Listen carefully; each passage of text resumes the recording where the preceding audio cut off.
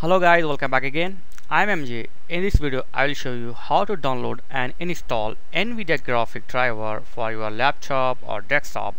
Recently, I bought a new laptop and I have 2 GB NVIDIA graphic, but I try uh, among 3 days. Yeah, I'm trying from the 3 days and I didn't find the suitable drive to my NVIDIA graphic.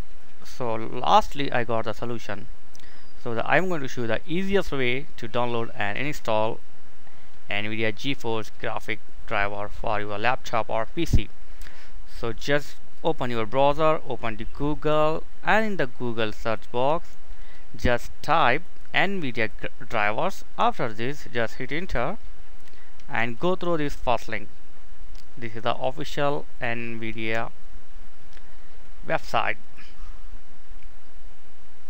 so here you have to choose your product type. Like I have GeForce and the series is 800 yeah I have 800 series and the product GeForce product is 820 mine is 820 so if you don't know about your graphic information uh, you can read your uh, product laptop specification or you can ask to your seller.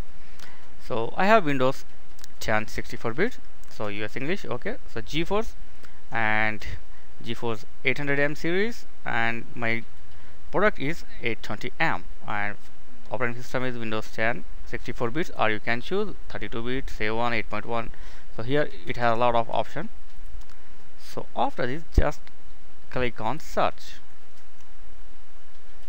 Okay here it will provide you suitable uh, driver for your graphic card nvidia graphic like here you can see version is 3680 368.22 and the release date is 26 523 and operating system is this one and english and the file size this one.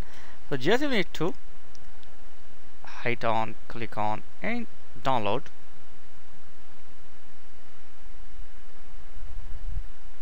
Okay so now click on agree on download. So just click here and it will start to download and okay after download completed just double click on setup file. Okay and click on ok. So it will take little time to install your driver.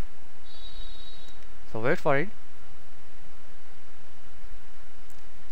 So you will check the system compatibility mode and click on agreement. Agree and continue. Here select the custom and click on next. Okay. And check on the clean installation. And next. So the download is depend upon your system performance and the installation is uh, depend upon your system performance. So wait for it or you can do your other thing by minimizing this. So it will take little time. I am fast forwarding this video because I don't want to you feel bored. Okay.